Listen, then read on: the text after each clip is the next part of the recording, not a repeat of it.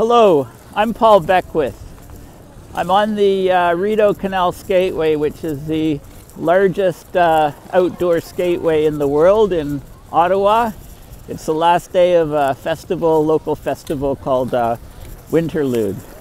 Now today I'm going to talk about redrawing the map. I'm going to talk about how rapid climate change is actually redrawing the map in so basically there's a lot of these large scale changes that are occurring on the planet.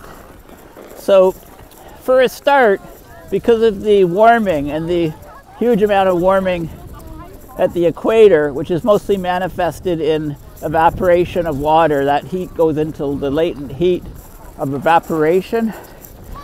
The uh, tropics are getting larger.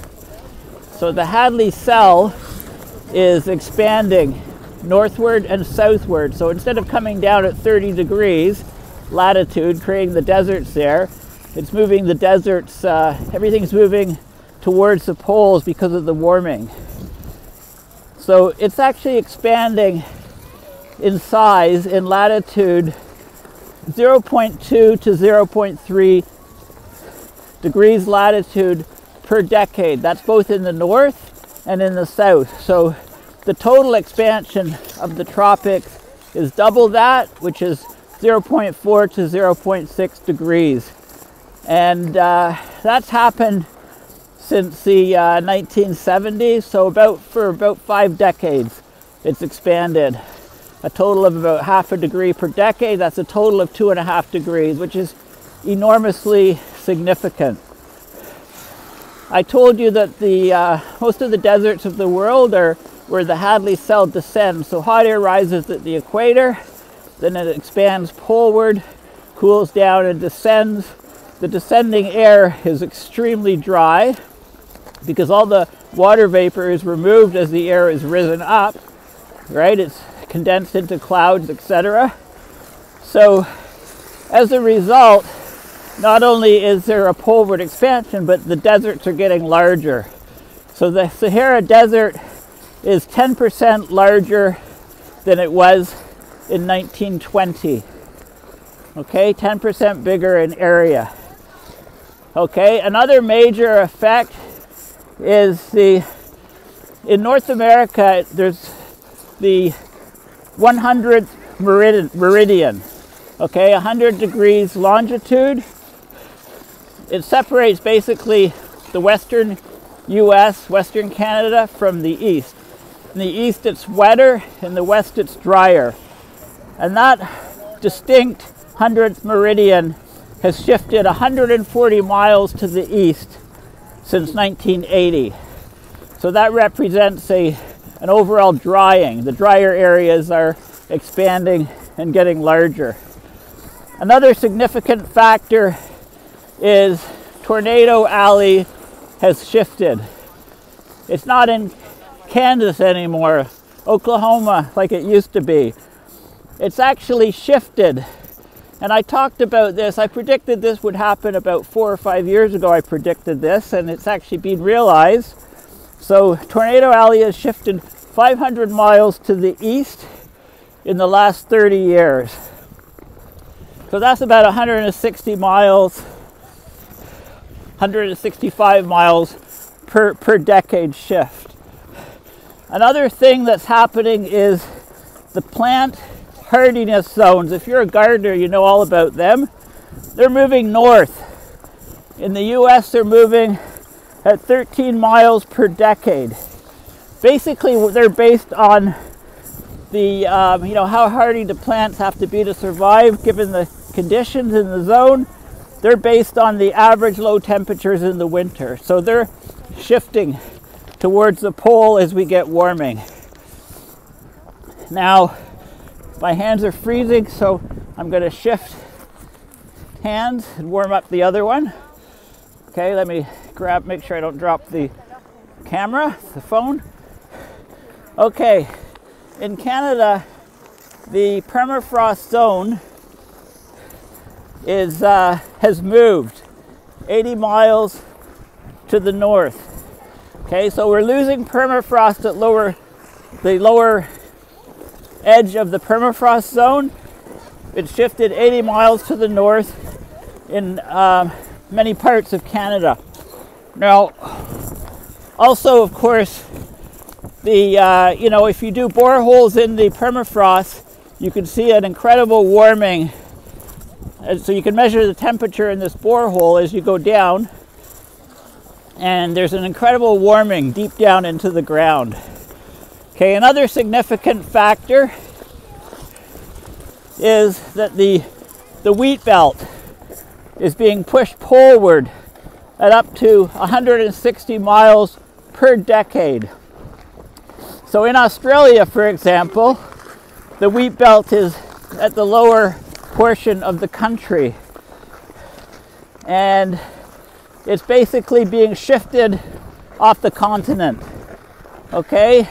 The largest wheat producers in the world are Canada, Russia, the US, and then Australia is next as, as far as wheat exports go. But the wheat growing area is being shifted right out of Australia. And in North America, it's being shifted north. But of course, if soils aren't sufficient, then this is a problem because the very the most productive wheat growing areas are actually yields are dropping. Okay. Another very significant factor is that lakes are losing winter ice cover in the northern hemisphere. There's actually 1.4 million lakes in the northern hemisphere. A large number of these lakes are losing their uh, ice cover. Okay, so the ice cover is not forming completely. Um, the ice is starting to form later on in the fall and it's thawing earlier in other lakes. This has huge implications to the ecology of these lakes. Okay, uh, hundreds of miles of shift is occurring. Okay, so lakes within those bands are shifting. Of course, it's uh, something like the shift is something like 500 miles in one generation. Okay, so this is a huge has the, the lakes require this ice cover uh, is very important for the ecology of these lakes because as the water cools down, the most the highest density of water is at four degrees Celsius. So as you go colder than that, the density of the water decreases. That water stays on the surface and freezes.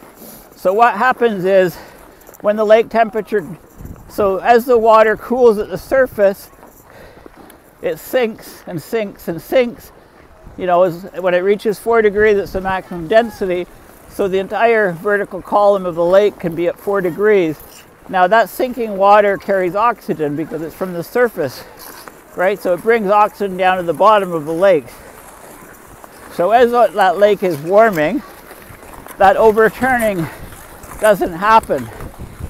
And uh, therefore, the bottom of these lakes are becoming deoxygenated. They're not, they're not getting this overturning, seasonal overturning, and therefore the oxygen levels are dropping at the bottom of the lake. So this is not, this is very, very bad news. Okay. Um, another very significant thing that is happening is we know that the, we know about Arctic temperature amplification we know that the Arctic is warming much, much faster than the rest of the planet because the Arctic is becoming a much darker place. The overall total reflectivity average of the Arctic used to be about 52%, and over 30 years it's dropped to 48%. Okay, that means there's a lot more absorption of light up in the Arctic, there's a lot more warming. So, we mostly talk about the warming based on surface air temperature, for example. A recent study came out that looked at the warming throughout all the layers of the atmosphere, the, the volume of air. How much did the entire volume of air in the Arctic warm? So they looked at something called PCAM, PCAM, polar cold air mass.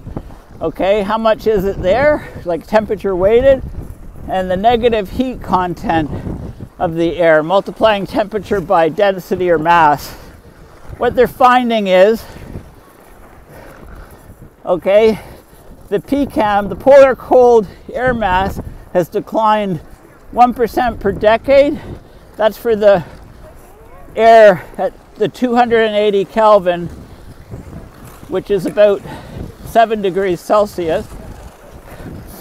The PCAM and, and, and the, uh, the negative heat contents decline 3% per decade. But if you look at the 245 Kelvin air, so 245 minus 273, that's about minus, uh, 28 or so degrees Celsius. That air mass has declined 13% per decade. In six decades, basically, we've lost 80% of the cold air in the Arctic, defined by that PCAM at 245 Kelvin. Okay, now the trends in the Arctic are even faster. If you look just at the high Arctic, it's about double the loss. Okay, and more recently, it's about three times the loss in the last 30 years. Over the 60 year trend, it's about double. So, in a nutshell, we're rapidly losing all of the cold air in the Arctic. Okay? Um, when you see these really, really wavy jet streams going very, very far north, the ridges up into the North Pole in the middle of the winter, bringing temperatures above zero, and you get these cold air excursions, especially with the uh, split polar vortex coming down and the massive cold over North America. This is all the trend towards losing snow and ice up in the Arctic. Okay? There's lots of these effects happening because the Arctic is turning into a much, much warmer place. And of course, this is very bad news for Greenland melt rates. It's very, very bad news for methane. Okay, the permafrost melt, both terrestrial and marine, is uh, going to skyrocket when we lose the sea ice. And you know, Michael Mann has been talking a lot about trying to downplay the effects of methane, and people, of course, I disagree with him completely. You know, many years ago, um, I joined the Arctic Methane Emergency Group, if you'll recall. Okay, uh, about a month after it was founded. That was about eight or nine years ago now. So, methane is a huge concern. You know, remember the global warming potential of methane is enormous, right? And uh, most of the numbers that are quoted for how much more potent methane is cause, to cause warming than CO2, you know, is, is the numbers were 20 were quoted, 22, 24. You know, it's actually 34 times more potent. That's on a 100 year average time scale. But the lifetime of methane is only about 9 to 12 years depending on latitude, etc. Okay, so a more relevant number is a 20 year time scale for methane, and the global warming potential, it's 86 times worse, 86 times more warming from per, per uh, mass, methane versus CO2. And on a few year time scale, the uh, global warming potential is 150 to 200 times more potent. Methane is on the rise around the world, right? Fracking hasn't helped.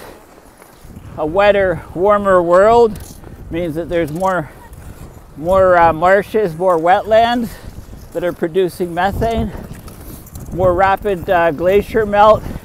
The meltwater rivers coming out from under the glaciers are saturated in methane. The organic material, anytime you have organic material that was frozen and now it's thawed can be can experience bacterial decomposition and in the absence of oxygen produces methane. So methane is a huge risk. Anyway thank you for listening. Um,